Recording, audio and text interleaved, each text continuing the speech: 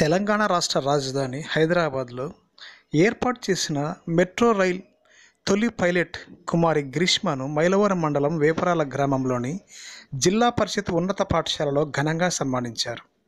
ఈ సందర్భంగా ఏర్పాటు చేసిన సమావేశంలో సర్పంచ్ కొండయ్య ఎంపీటీసీ ప్రసాదులు మాట్లాడుతూ విద్యార్థులు చక్కగా చదివి ఉన్నత స్థానానికి చేరుకోవాలన్నారు.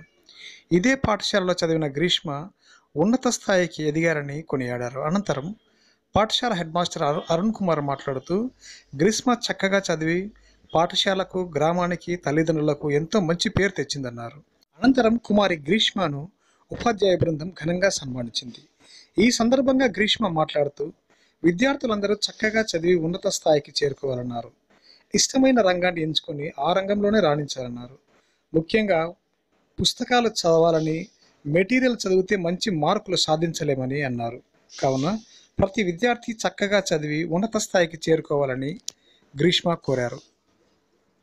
ఈ కార్యక్రమంలో ఉపాధ్యాయుని ఉపాధ్యాయులు ఉమాదేవి శివశంకరెడ్డి శైలజ జసన్ ప్రభాకర్ నాగేంద్ర తదితరులు పాల్గొన్నారు. మాట్లాడుతుంటే ఎలా నవ్వుతున్నారో నేను అప్పుడు తెలుగు మాట్లాడుతుంటే అట్లా నవ్వేటోళ్ళు అనమాట అందరూ.